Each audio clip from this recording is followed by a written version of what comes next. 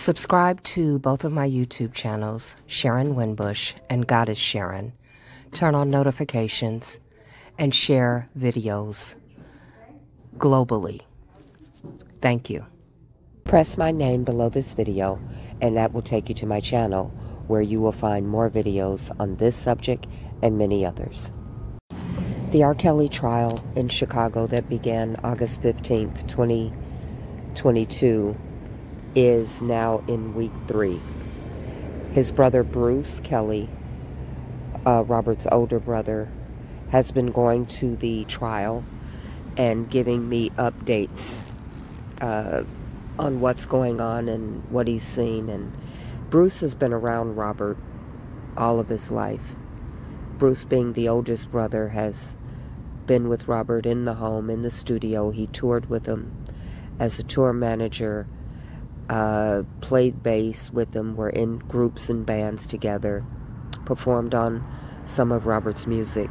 So Bruce knows just about everybody that's testifying, and he's giving a very good perspective on what he's seeing.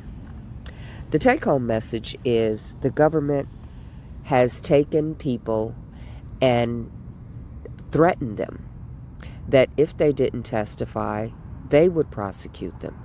So you have people being forced to testify and also being bribed. They're being given uh, apartments and money and trips and endorsement deals and all types of things. So they're not credible. The stories they gave in the previous trial is very different from the stories that they're testifying to right now. And so what we see consistently is lie after lie after lie. You don't know what to believe because they most of these people testified in the previous trial, which is double jeopardy. Uh, they're coming back for this trial and they're saying the complete opposite. They're saying basically the, the buzzwords that the government put in their head we were abused. He took advantage of us. When in fact, if you think of any musician, any group, they all have groupies, they all have fans, people that want to have sex with them. They want to be with a rock star. They'll get fake IDs, they'll chase the tour buses around, they'll sit in the hotel lobbies, if they see these people, if they can get to them in any way, shape, or form, they want to be around the fame, the money, the glitz, and the glamour. And Robert was a sex symbol of R&B. He was young, he was attractive, he was hip, he was cool. He was what the young girls liked. They wanted him as a boyfriend. They wanted him uh, first and foremost to be in a relationship with him. But then, if they had musical aspirations, they wanted him to turn them into Aaliyah, make them an Aaliyah project. So we're seeing the Aaliyah effect throughout this trial. Aaliyah met R. Kelly and he worked on an album for her. Age ain't nothing but a number. It went number one it garnered her enormous success. Every young female wanted to be her. Every young female wanted to emulate her. So R. Kelly became a target of females wanting to be famous and successful and beautiful like Aaliyah. So not only was Robert a sex symbol and handsome and athletic in his build and an artist, he put out an artist that gained enormous popularity. So he had females coming at him from every direction for all types of reasons. For number one, to be with him sexually, so they could have bragging rights to say, I'm with R. Kelly, to be his uh, girlfriend, to work their way to the position of wife, to try to get pregnant and have a baby. And if they had musical aspirations, for him to do a song for them, to make an album for them, to make them rich and famous and successful like Aaliyah. Robert was a target of young females, middle aged females, and older females. It's the nature of the music business. So, thus far into week three of the trial, we've learned basically that every person that got on the stand is lying because they told one story when the prosecution asked them questions, and then Jennifer Bonjean and Derrel McDavid's attorneys, because they're co defendants, were able to discredit and uh, expose lies from every single witness. There's not one witness that got on the stand that was not impeached by their own testimony. And that's incredible.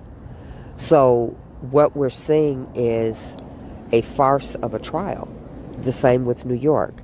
You have groupies, studio bots, studio hoes, young females who were fans who wanted to get to R. Kelly to get a career, to get money, to get fame, to have a baby, to whatever they could get.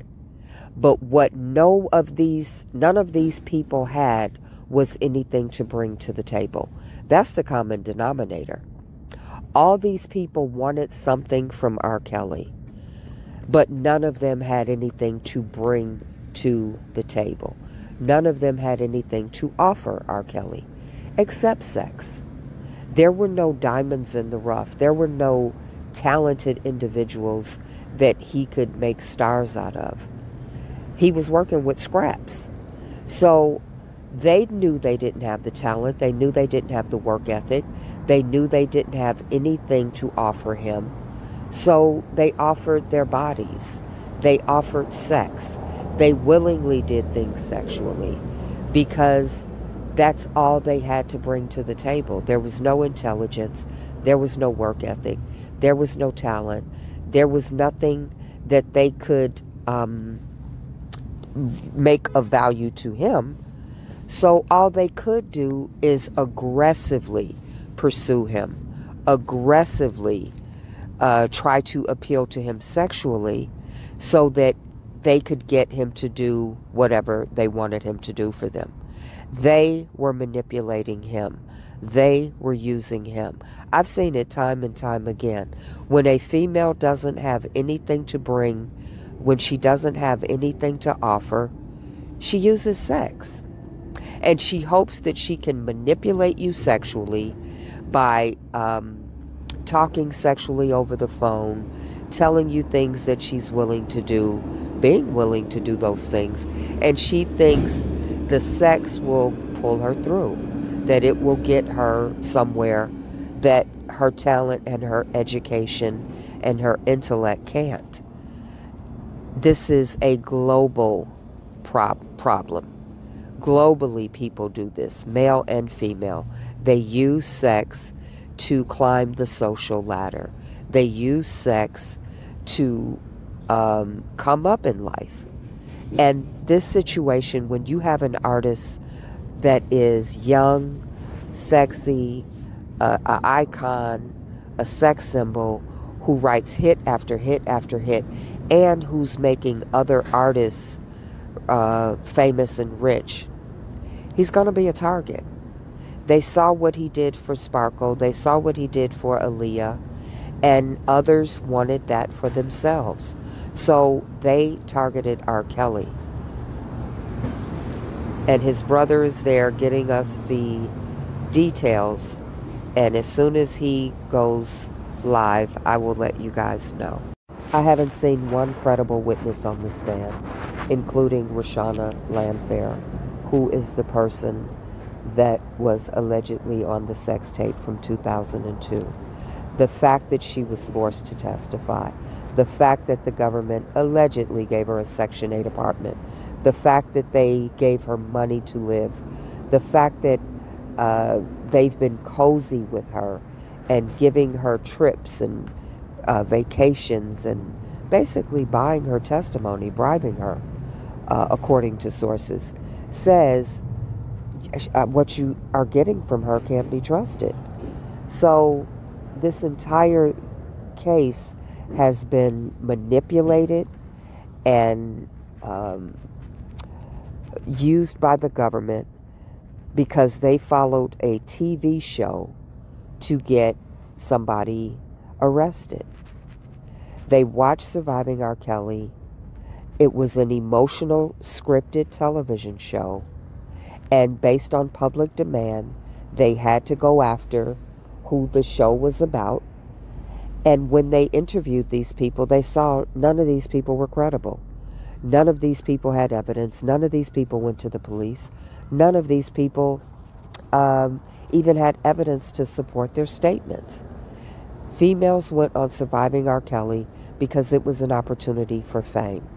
When you look at the place that we're in right now, the convergence of social media, reality TV, and the Me Too movement, you're getting all of these fake victims, false victims, people who volitionally went to studios, volitionally targeted entertainers, volitionally wanted to have sex with them to get money, to get a come up, to get fame, to get a record, whatever it is that they were looking for.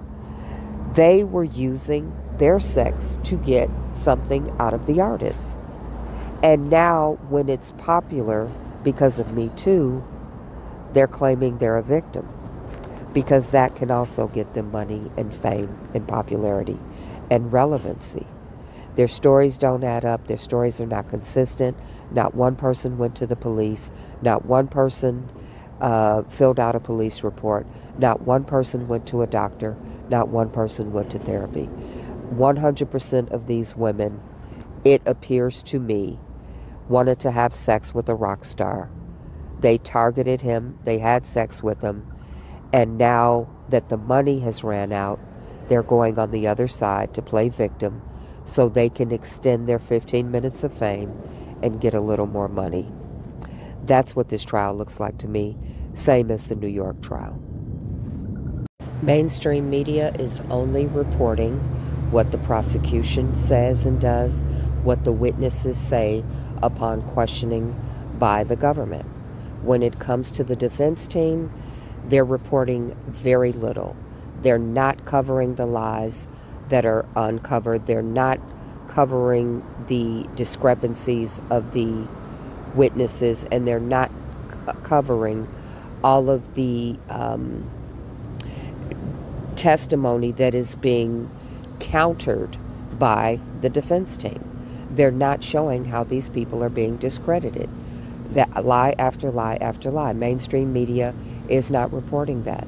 So you can't even trust what you're hearing in the news because it's painting one picture and it clearly is a monopoly on the perspective they want to paint in the public eye. That's not a free press. That's not fair journalism. That's called a dictatorship. You are controlling the narrative. You are controlling what the people see and hear. They're not reporting fairness straight up the middle. This is what the prosecution did. This is what the defense did, so that the public can make their own decisions. They are reporting 99% in favor of the government, in favor of the prosecution, with little sprinkles of what the defense is doing. And so it gives the public the perception that Robert is guilty. It gives the public the perception that all of these lying thoughts are telling the truth, and it gives the public the perception that the government got it right, surviving R. Kelly was correct, and all of this is a legitimate process. All of it is lies and, and falsehoods that are being perpetrated by mainstream media.